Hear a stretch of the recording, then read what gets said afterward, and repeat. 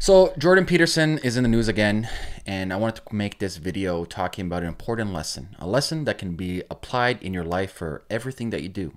A very, very important lesson.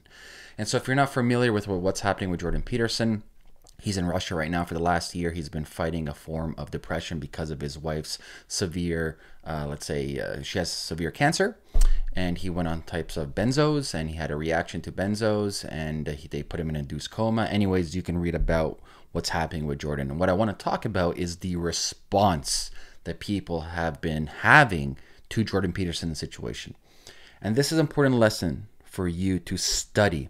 Study how people behave not what people say and study how you react as opposed to responding. These are really really important things to pay attention to most people are hypocrites. Most people say one thing, do another thing. Most people react as opposed to respond with, with constructive criticism or constructive conversations. And so, if you've been paying attention on YouTube or on Twitter or on Facebook, came out in a very vicious, vitriol manner of attacking Jordan Peterson.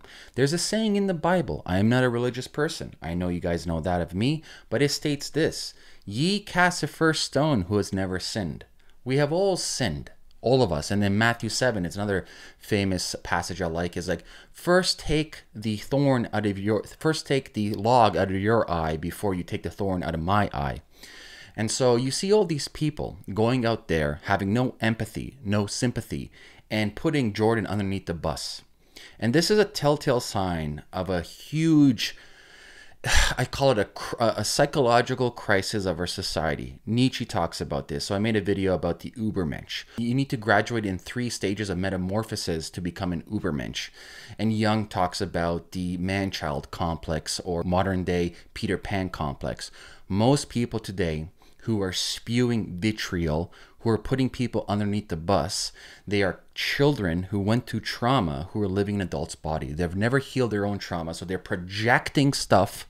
They're projecting all the hate, all the pain, all the trauma from themselves onto others.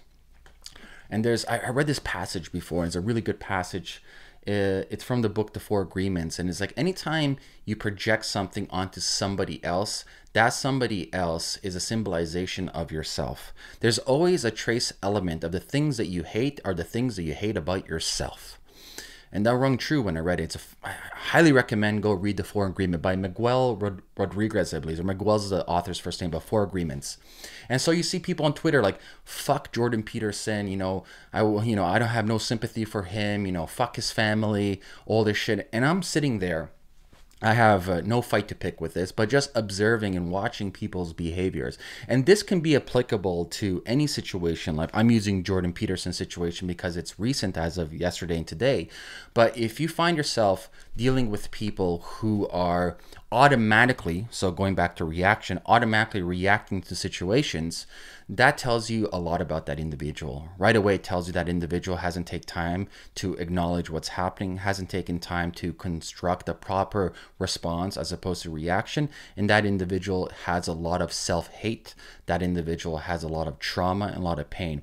And the funniest thing I heard about the Jordan Peterson um, situation right now is like, well, he he uh, he he hasn't taken his own advice. Listen, we have the human condition. We all have vices.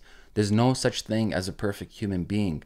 Uh, the human, the, we have, we have, um, we have philosophies, and we have certain north stars that we project as something to look at. It's not perfection, right? We're always gonna screw up. That's the human condition. The problem is people like to paint things in black and white and make everything binary. They likes to state, and I, I'll give a good example. For example, person that I love to listen to is Alan Watts.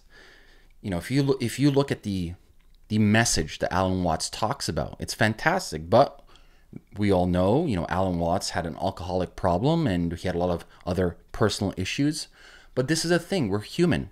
And it happens a lot though with leftists and people who are social justice warriors where you have to be in line with every single aspect of your message. Meaning, if there's one iota uh, of of negativity within you, or if there's one iota of a bad characteristics of something you've done in the past, oh well, we can't be friends with you. We can't talk with you. We're gonna villainize you. We're gonna attack you.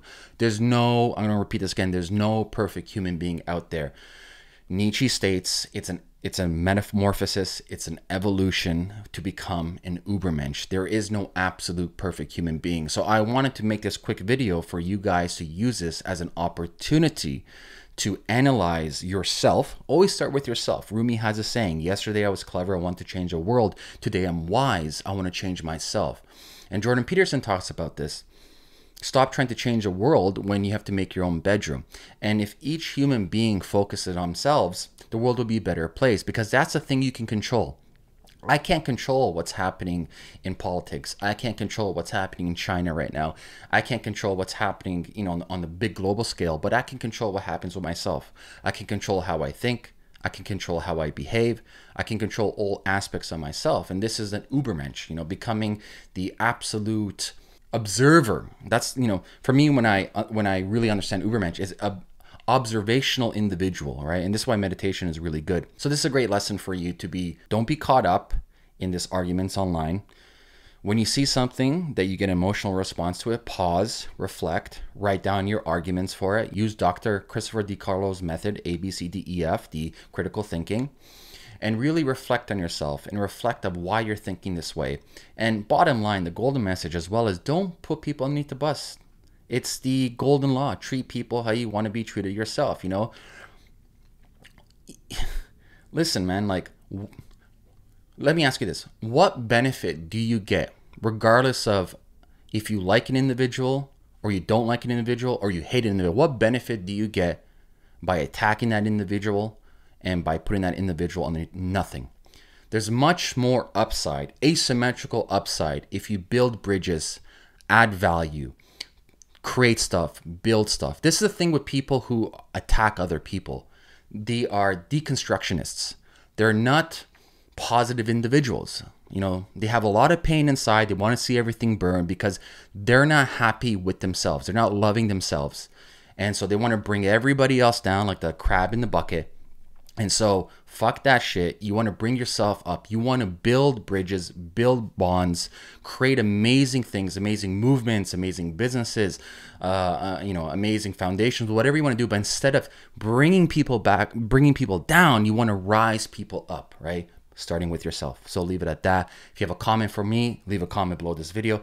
Don't forget to subscribe. And like always, hit the like button and I'll talk to you guys soon. Peace out.